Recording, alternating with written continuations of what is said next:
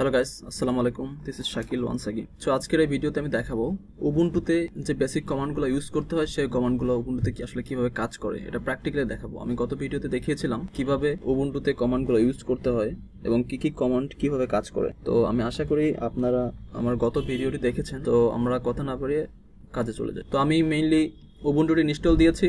আপনারা দেখতে পাচ্ছেন এটা উইন্ডোজ উইন্ডোজের ইন্টারফেস বাট আমি উবুন্টুটা ইনস্টল দিয়েছিলাম ভার্চুয়াল বক্সের ভেতরে। আপনারা জানেন যে ভার্চুয়াল বক্সের ভেতরে উবুন্টু ইনস্টল দেওয়া যায়। সো আমি ভার্চুয়াল বক্সের ভেতরে ঢুকতেছি। তো আমি যতগুলো টিউটোরিয়াল দেখাবো, সবগুলো আমি ভার্চুয়াল বক্সের ভেতরে দেখাবো আপনাদের। তো আপনারা চাইলে ভার্চুয়াল বক্সের ভেতরে ইনস্টল দিতে পারেন, অথবা কেউ চাইলে ডিরেক্ট ইনস্টলও দিতে পারেন, সেটা আপনাদের ব্যাপার। বাট ভার্চুয়াল বক্সের ইনস্টল করলে যে কোনো প্রবলেম বা ইন্টারফেস আলাদা, এরকম কোনো প্রবলেম হয় না। সো বেটার ভার্চুয়াল বক্সে ইনস্টল দিয়ে কাজ করেন। আর একান্তই যদি প্রয়োজন হয়, তাহলে ডিরেক্ট ইনস্টল দিয়ে নিন। অনেক টিউটোরিয়াল আছে টিউটোরিয়াল দেখেন, দেখলেই বুঝতে পারবেন। সো এখানে কিছুটা সময় নেবে।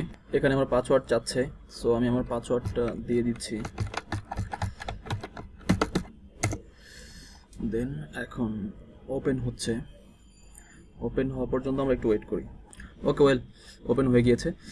এটা হচ্ছে আপনার ওবুন্টু ইন্টারফেস ভার্চুয়াল বক্সের ভেতরে এরকম ছোট করে আসে। বাট আপনি যদি ডিরেক্ট দেখতেন, তাহলে দেখবেন যে পুরোটা ইন্টারফেসটা পুরোটা। বাট আমি যেহেতু ভার্চুয়াল বক্সের ভেতরে করতেছি সো এটা এতটুকুই আসবে ইন্টারফেসটা এত ছোট করে আসবে। কাজ শুরু করার আগে সবার আগে আমার টার্মিনালে যেতে হবে। টার্মিনাল ওপেন করে নিয়ে দেন আমরা কাজ শুরু করতে হবে। আমরা এখানে ক্লিক করব দেন এখানে আমরা সার্চ করব টার্মিনাল চলে এসেছে। টার্মিনালে টার্মিনাল ওপেন করে নেব। টার্মিনাল ওপেন হতে কিছুটা সময় লাগে। ওকে ওয়েল টার্মিনাল ওপেন হয়ে গিয়েছে। সো গত টিউটোরিয়ালে আমি যে কমান্ডগুলো দেখিয়েছিলাম, সেই কমান্ডগুলো আমি আজকে ইউজ করব। আজকে কোনো কোড করব না। তো আজকে আমি যেগুলো দেখব, সেটা সবই বেসিক কমান্ড বেসিক কমান্ডগুলো কীভাবে ইউজ করতে হয়, সেটা দেখো। হ্যাঁ আরেকটা কথা বলে রাখি। এখানকার কমান্ডগুলো খুবই কেয়ারফুলি ইউজ করব আমরা। কোনো ছোট হাতের অক্ষর অথবা বড় হাতের অক্ষর একসাথে সংমিশ্রণ করা যাবে না। করলে সেই কমান্ডটা নেবে না ইনভ্যালিড কমান্ড দেখাবে। সো আমরা যাচ্ছি। আমরা এর আগে শিখেছিলাম ক্যাট সিডি সিডি দিয়ে আমি দিলাম ডেস্কটপ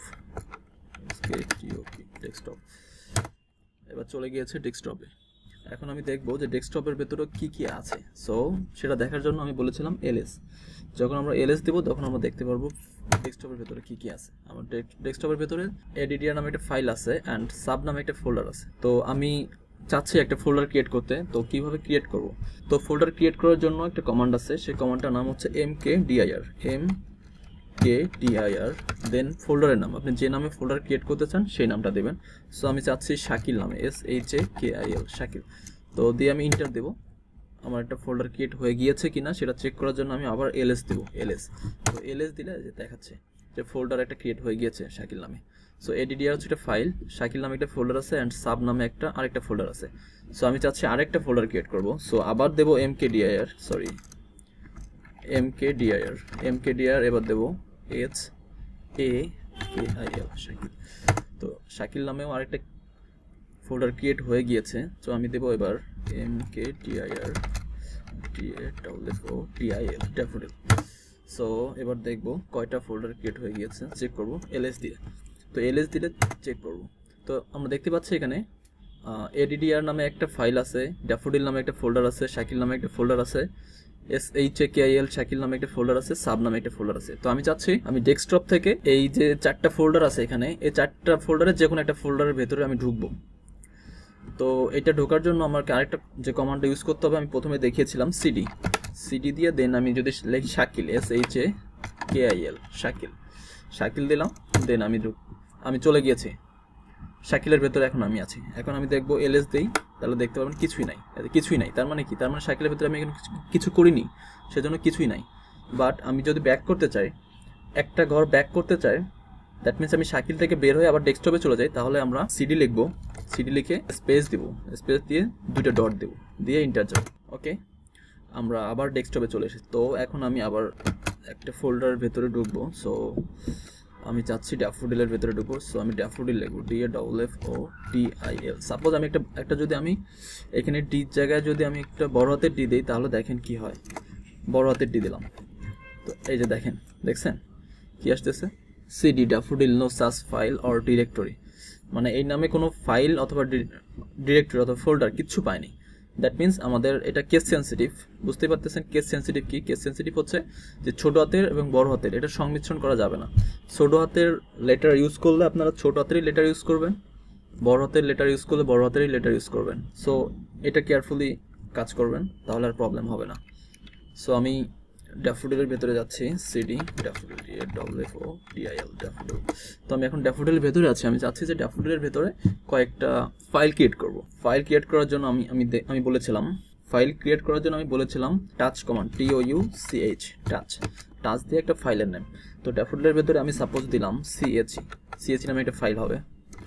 দেখেন, হয় কি না সো টাস্ক লিখে সিএসসি লিখছি, আমি সিএসসি নামে একটা ফাইল হয়ে গেছে, আমি এলএস দেবো। এলএস দিলে এবার দেখতে পাচ্ছেন, আমি এখন কিন্তু আছি ড্যাফোডিলের ভেতরে, আমি কিন্তু এখন ডেস্কটপের ভেতরে না। ডেস্কটপের ভেতরে ড্যাফোডিল ড্যাফোডিলের ভেতরে আমি আছি। সো ড্যাফোডিলের ভেতরে শুধু একটা ফাইল আছে, যেটার নাম হচ্ছে সিএসসি আমি যদি চাই যে এর ভেতরে একটা ফোল্ডার ক্রিয়েট করব দেন আমি আবার M K sorry M K DIR দিয়ে আমি সাপোজ ত্রিপলি দিলে আমি ত্রিপলি নামে একটা একটা ফোল্ডার ক্রিয়েট হয়ে যাবে। তো দেখতে পাচ্ছেন এখানে সিএসসি নামে একটা ফাইল আছে ত্রিপুলি নামে একটা ফোল্ডার আছে। সো আমি আরেকটা ফাইল ক্রিয়েট করব। আরেকটা ফাইল ক্রিয়েট করার জন্য আমি আবার T O U CH touch touch লিখে আমি সাপোজ নেব এমই দেন আমি এলএস দিয়ে চেক করব। সিএচই ত্রিপলি এমই সো সো সিএচই একটা ফাইল এমই একটা ফাইল অ্যান্ড ত্রিপলি একটা ফোল্ডার সো আমি চাচ্ছি যে এখন সিএসসি ফোল্ডার ফাইলের ভেতরে কিছু লিখব। ফাইলের ভেতরে যখন আমরা অ্যাক্সেস নিতে চাবো তখন আমাদের আরেকটা কমান্ড ইউজ করতে হয়। সেই কমান্ডটার নাম হচ্ছে nano. N A N O nano. আমি বলেছিলাম এর আগে। N A N O nano. Nano দিয়ে আমি একটা ফাইলের আমি যখন ফাইলের নামটা লিখব suppose C H E then আমি ফাইলের ভেতরে ঢুকে গেছি। আপনারা দেখতে পাচ্ছেন এই যে একটা ফাইল আমি যা খুশি তাই লিখতে পারব এখানে। সো আমি সাপোজ কিছু লিখি এখানে। না লিখলে কেমন হয়? সাপোজ আমি লিখি computer C I science and computer science and engineering তো ফাইল তো আমরা লিখলাম হ্যাঁ? তো ফাইল লেখার পর আমরা ফাইলটা রান করাবো কীভাবে বা আমরা দেখব কীভাবে? সেটা দেখার জন্য আমাদের কন্ট্রোল প্লাস এক্স ইউজ করতে হবে। এই যে আপনারা দেখতে পাচ্ছেন? Control plus X so control plus X চাপবো। কন্ট্রোল প্লাস এক্স চাপার পর চলে এসেছে। আমি এর আগে রান করিয়েছিলাম তো সেজন্য। বাট ফার্স্ট টাইম হলে কন্ট্রোল এক্স চাপতে হবে দেন আবার ইয়েস করতে হবে দেন এখানে চলে আসবে হোয়াট এভার তো আমি এখানে ফাইলটা রান করাই। তো রান রান করানোর জন্য আমাকে যেটা করতে হবে cat C A T cat cat দিয়ে দেন আমার ফাইলের নেম লিখতে হবে সি দেন আমি দেখতে পারব যে কম্পিউটার সায়েন্স অ্যান্ড ইঞ্জিনিয়ারিং তো কম্পিউটার সায়েন্স অ্যান্ড ইঞ্জিনিয়ারিং লেখাটা ফাইলের ভেতরে আছে, সেই ফাইলের ভেতরে লেখাটা আমরা দেখলাম এভাবে। তো এখন আমরা চাচ্ছি এই কম্পিউটার সায়েন্স অ্যান্ড ইঞ্জিনিয়ারিং যে লেখাটা আছে, সেই লেখাটা আমরা কপি করব। কীভাবে কপি করব? তো এর আগে আমি দেখিয়ে আমি বলেছিলাম এর আগে টিউটোরিয়ালে যে কীভাবে কপি করতে হয় সিপি লেখে কপি করতে হয়। তো সিপি লেখে আমরা কপি করব।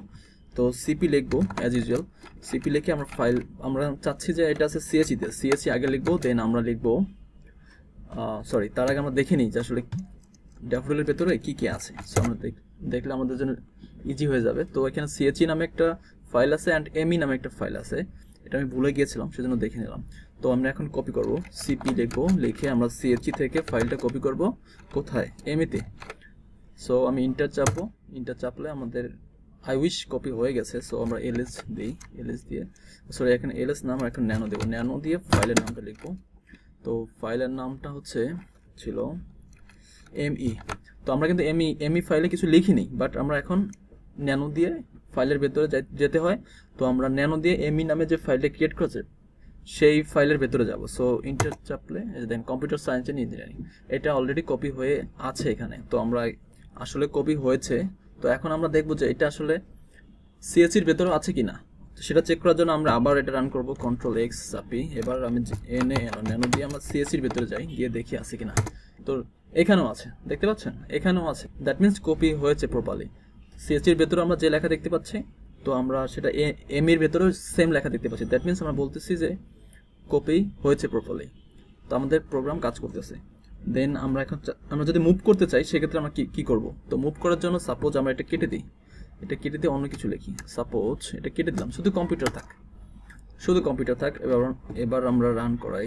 কন্ট্রোল এক্স এই যে, এবার চাপবো ইয়েস ওয়াই ইন্টার তো এখন শুধু আমার ফাইলে আছে ক্যাট সিএসি তো আমরা দেখতেছি কম্পিউটার শুধু কম্পিউটার লেখা। এখন আমি কম্পিউটারটা মুভ করব এখান থেকে।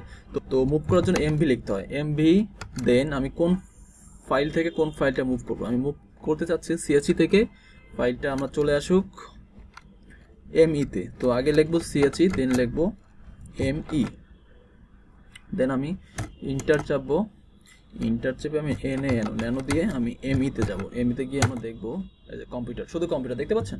শুধু কম্পিউটার আগে ছিল কম্পিউটার সায়েন্স অ্যান্ড ইঞ্জিনিয়ারিং এখন আছে শুধু কম্পিউটার দ্যাট মিনস আমি এটা মুভ হয়েছে প্রপারলি তো আমরা এটা হয়েছে কিনা প্রপারলি এটা আবার চেক করার জন্য আবার ন্যানো আবার কমান্ডে আসলাম কন্ট্রোল এক্স চেপে তো ন্যানো দিয়ে আমরা আবার সিএসির ভেতরে গিয়ে দেখি যে আসলেও এটা মুভ হয়েছে কিনা। তো সিএসির ভেতরে দেখছেন কিছুই নাই। ফাঁকা এমটি দ্যাট মিনস প্রপারলি এটা মুভ হয়েছে। দ্যাট সো দ্যাটস ওয়াই এখানে কিছুই নেই, আমরা এমটি দেখতেছি।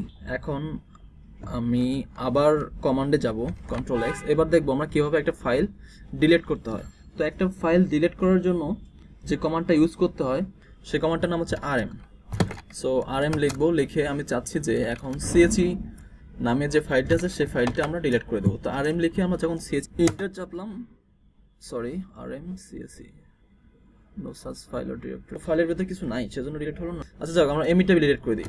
তো আর এম লিখে আমরা লিখব এমই আচ্ছা এখানে কি আছে একটু চেক করে দেখি। এলএস দিই এলএস দিলে আমরা দেখতেছি, ও আচ্ছা এর, ওটা তো নাই, ওটা ডিলিট হয়ে গেছে। ত্রিপলি আর এমই আছে সো আমরা এমিটাই ডিলিট করে দেবো আবার। তো, আমরা আর এম লিখি। আর এম লিখে আমরা এমই যখন দিব, তখন আর এমই থাকবে না। তো এখন আমরা আবার চেক করি। শুধু ত্রিপলি আছে। ত্রিপলি হচ্ছে একটা ফোল্ডার এখন ফোল্ডার ডিলিট করতে হয় কীভাবে? এখন ফোল্ডার এটা তো ফাইল ডিলিট করলাম। ফাইল ডিলিট করতে জাস্ট আর এম লিখে স্পেস দিয়ে ফাইল কিন্তু ফোল্ডার ডিলিট করতেও সিমিলারলি আর এম লিখতে হবে স্পেস দিতে হবে, দিয়ে একটা হাইফেন দিতে হবে দেন আর লিখতে হবে দেন একটা স্পেস দিতে হবে দেন আমার ফোল্ডারের নামটা লিখতে হবে। দেন ইন্টার চাপতে হবে। দেন এখন আমরা আবার চেক করে দেখি এলএস দিয়ে কিছুই নাই। দ্যাট মিন্স এখানে কোনো ফাইল নাই, কোনো ফোল্ডার নাই, সেজন্য কিছুই শো করল না। ত্রিপলি নামে এখন কোনো ফোল্ডার যেটা ছিল সেটাও ডিলিট হয়ে গিয়েছে। তো একটা ফাইল ডাউনলোড দেওয়ার জন্য আমরা ডাব্লিউ গেট ফাইল লিখলে ডাউনলোড হয়ে যায়, এগুলো আমরা আপনারা ইউজ করবেন। নর্মালি যে কমান্ডগুলো ইউজ করা হয় কোড করতে মোটামুটি কোডের আগে যে প্রিপারেশনটা সেটা আমি দেখিয়ে দিয়েছি। ও হ্যাঁ সিস্টেম সিস্টেম ইনফরমেশন দেখার জন্য আমরা আরেকটা কমান্ড দেখব। সেটা হচ্ছে আপনি যখন লিখবেন সিস্টেম ইনফরমেশন দেখতে যাবেন, ধরেন যে ক্যালেন্ডার তখন লিখবেন ক্যাল ক্যাল লিখলে আপনার ক্যালেন্ডার চলে আসবে। দেখছেন, আজকে ছাব্বিশ তারিখ চলে আসছে। তো ক্যালেন্ডার চলে আসছে। দেন আপনি যখন ডব্লিউ দেখেন, তখন হু ইজ অনলাইন চলে আসবে যে, দেখছেন? দেন হু এম আই লেখেন? W H who M I who M I লেখেন? দেখেন, শাকিল চলে আসবে। দ্যাট মিনস আমার শাকিল নামে এটা উবুন্টুটা ইয়া করা আছে। এই যে শাকিল, চলে আসছে শাকিল। অ্যান্ড টাইম দেখার জন্য যে কমান্ডটা সেটা হচ্ছে up time UP TIME up time then আপনারা কারেন্ট ডেট দেখতে পারেন। কারেন্ট ডেট দেখার জন্য আপনাদের দেখতে হবে ডেট জাস্ট ডেট ডেট দিলেই চলে আসবে। এখন আপনারা চাচ্ছেন যে পুরো কমান্ডটা ক্লিয়ার করে দেবেন। সেটার জন্য একটা কমান্ড আছে, সেটা হচ্ছে clear just C L E R clear clear যদি দিয়ে দেন, তাহলে পুরো কমান্ডগুলো আপনার ক্লিয়ার হয়ে যাবে। একদম। ওয়াও সো দ্যাটস ইট আমরা নেক্সট ভিডিওতে আমরা আরও ডিটেলসে যাব। অ্যান্ড আমরা আস্তে আস্তে প্রোগ্রামিংয়ের দিকে যাব শেল প্রোগ্রামিংয়ের দিকে। তো সেল প্রোগ্রামিংয়ের আগে এসব কমান্ড সম্পর্কে ভালো আইডিয়া থাকা দরকার, সেজন্য আমি এই মেইনলি এই ভিডিওটা মেক করলাম। যাতে আপনাদের বেসিক কমান্ডগুলো সম্বন্ধে খুব ভালো আইডিয়া থাকে। তো যদি ভালো ভালো লাগে থাকে, তাহলে একটা লাইক দেবেন অ্যান্ড আপনাদের ফ্রেন্ডদের সাথে অবশ্যই শেয়ার করবেন বিকজ আপনার মাধ্যমে যদি আপনার ফ্রেন্ড কিছু জানতে পারে, সেটা আমাদের জন্য অবশ্যই ভালো ইভেন আপনার জন্য ভালো। এর ফিডব্যাক হয়তো আপনি কোনো একদিন পাবেন। So thank you thanks for watching this video আসসালামু আলাইকুম